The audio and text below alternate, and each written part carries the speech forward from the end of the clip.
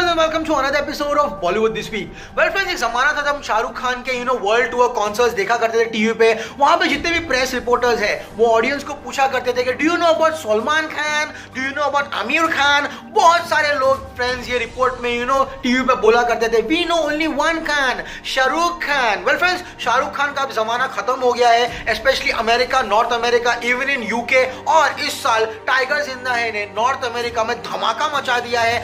आप लोगों को ये बात पता नहीं होगी, लेकिन friends highest grosser of 2017 in North America बन जाती है सलमान खान की फ़िल्म टाइगर ज़िंदा है। आज इस एपिसोड में मैं आपको एक्सक्लूसिव अनसीन कलेक्शंस बताने वाला हूँ नॉर्थ अमेरिका टेरिटरी की। तो फ्रेंड्स डे नाइन यानी कि सैटरडे को सलमान खान की फ़िल्म ने कमाए थे एट्टी डॉलर्स और इसी के साथ सिर्फ़ नौ दिनों में सलमान खान की फ़िल्म टाइगर ज़िंदा ने नॉर्थ अमेरिका में चार मिलियन का बिज़नेस किया। यस फ्रेंड्स चार मिलियन अगर हम लोग इसको रुपीज़ में कन्वर्ट करें तो ये होता है 25.69 crore yes friends North America का नया बादशाह बन जाता है भाईजान सलमान खान, क्योंकि टाइगर अभी ज़िंदा है। वेल फ्रेंड्स ऐसी बहुत सारी अनसुनी खबरें आपको मैं आज देने वाला हूँ। तो प्लीज़ चैनल पे बने रहिए और इसको सब्सक्राइब कीजिए। इस एपिसोड को जितना हो सके शेयर कीजिए। This is Mia sorry signing off I will see you very soon till then as always say der Mann.